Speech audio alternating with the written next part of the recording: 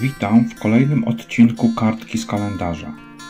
Codziennie opowiadam Państwu o wydarzeniach z przeszłości, które miały miejsce na terenie gminy Wielichowo. Swoją wiedzę czerpię z wieloletnich poszukiwań, wertowania źródeł, czytania gazet i książek, przeglądania stron internetowych oraz rozmów z ludźmi. Kartka z kalendarza to ponad 20 lat pracy, które złożyły się na ten projekt. Kalendarium można znaleźć na serwisach YouTube, Facebook oraz TikTok. Zapraszam do obejrzenia i wysłuchania kolejnego odcinka. Paweł Michalski. Witam Państwa 24 lipca.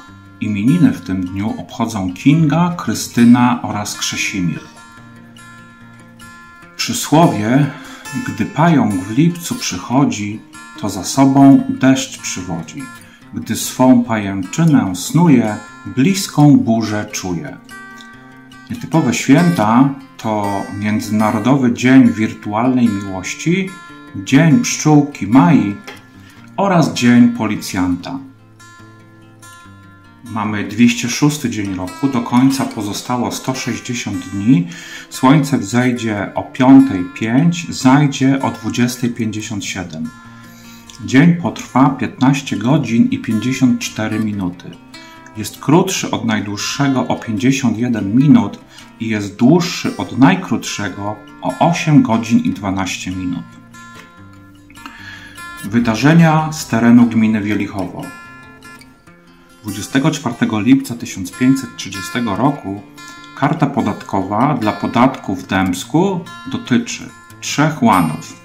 Sołtys jest na jednym łanie i pobór podatku dotyczy również młyna korzecznika, który znajduje się na rzeczce przepływającej przez Dębsko. 24 lipca 1974 roku decyzją wojewódzkiego konserwatora zabytków w Poznaniu wieża obronna w Wilkowie Polskim została wpisana do rejestru zabytków. Dziękuję Państwu za wysłuchanie kartki z kalendarza z 24 lipca. Zapraszam na kolejny dzień, zapraszam do naszego kanału na YouTubie. Pozdrawiam i do usłyszenia.